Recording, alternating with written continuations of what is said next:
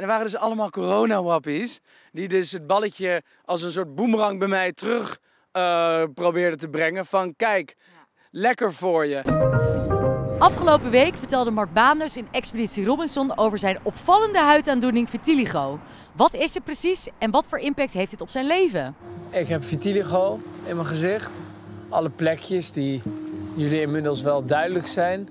In Amsterdam uh, doe ik er een hoop aan om het te maskeren. Met poeder, met zalf, met camouflagecreme.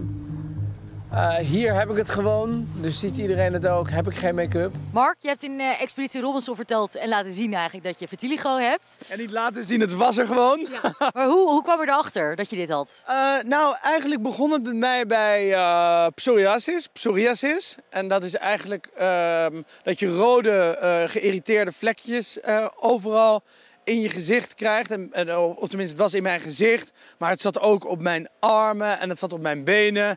En het was net in die tijd van de schurfthype.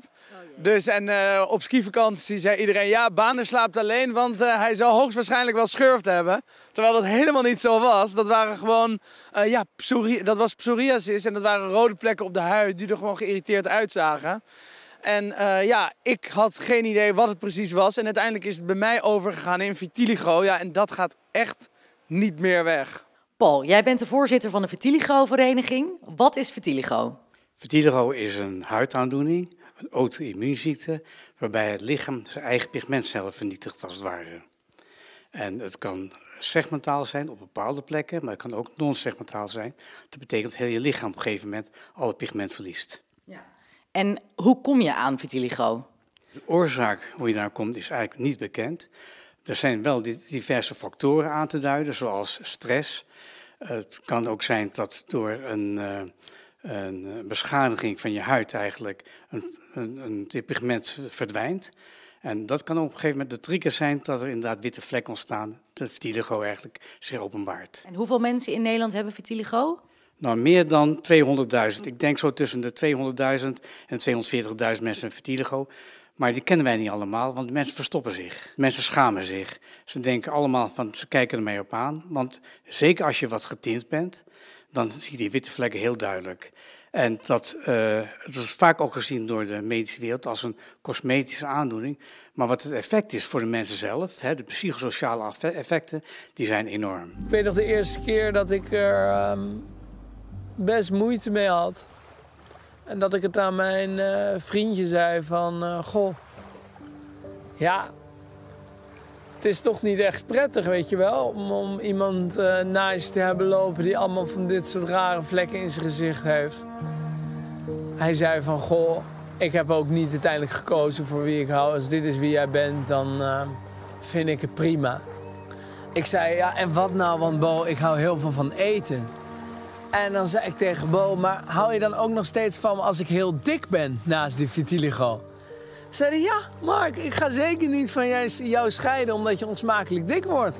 Seks zul je alleen niet meer hebben. Wat voor effect heeft het bij jou op je leven gehad tot nu toe?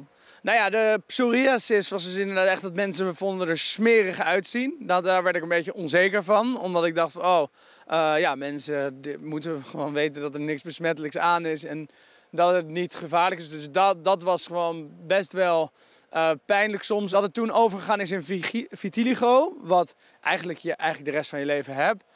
Uh, dat is iets waar je mee moet leren omgaan en uh, dat moet je aan wennen en dat moet je jezelf eventjes weer opnieuw uh, accepteren, zeg maar. Mensen kijken je op aan, de kinderen worden vaak uitgescholden voor koe of voor zebra.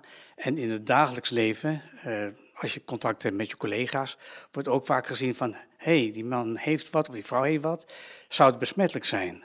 Ja. En dan krijg je een bepaalde, word je een bepaalde hoek voor je gedrukt, krijg je een labeltje op, want de mensen zijn er onbekend mee. En de bedoeling juist van mijn patiëntenorganisatie is om juist met mensen meer bekendheid te maken. Zorg dat iedereen zich durft te laten zien. Hoe was het voor jou om in expeditie hier openlijk over te vertellen? Dat kan me best wel moeilijk lijken, denk ik, of niet? Nou, ik denk, voor, ik denk dat het moment dat je het er zelf voor het eerst openlijk over hebt, dat dat het eerste moment is dat je het zelf ook accepteert. En uh, eerst in eerste instantie uh, heb ik het altijd een beetje lopen maskeren en lopen verbergen. Ik denk wel voor iedereen, en dat hoorde ik ook in mijn DM's van mensen die dit hebben gehad hoorde ik gewoon heel erg van, oh ja, maar het is een stukje acceptatie en uiteindelijk wen je er wel aan en maakt het je alleen maar mooi. Ik vind het geweldig, want juist door zijn open, openheid in het programma heeft hij laten zien van dat hij op een goede manier met zijn vertierig om kan gaan. Hij vertelt erover hoe hij met zijn relatie, in zijn relatie, uh, daar open over uh, praat met zijn vriend. Hij, uh, hij, laat in het programma laat hij zien dat hij daar geen problemen heeft met zijn vitiligo.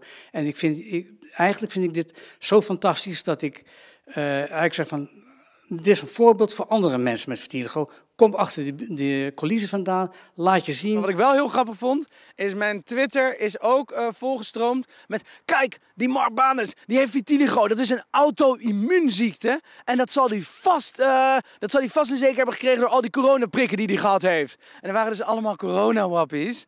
Die dus het balletje als een soort boemerang bij mij terug uh, probeerden te brengen. Van kijk... lekker voor je. Dit is wat jij hebt gekregen doordat jij jezelf geprikt hebt. Omdat ik natuurlijk op die demonstraties altijd verslag heb gedaan, hoorde ik bij mainstream media. En nu moet ik daar uh, van hun van op de blaren zitten. En deze vitiligo is lekker, mijn eigen schuld, dikke bult. Nou ja, idioot toch? Ik denk juist zoiets bespreekbaar maken. Um, uiteindelijk is dat toch ook een beetje de tijd waarin we leven. Maakt niet uit of je een kilootje meer of minder hebt. Maakt niet uit of je een vlekje hier hebt of een vlekje daar hebt. Wie je bent, wat je bent. Uh, al is het groen, dat is toch helemaal de tendens. Dus ik mag er ook lekker zijn met mijn vitiligo.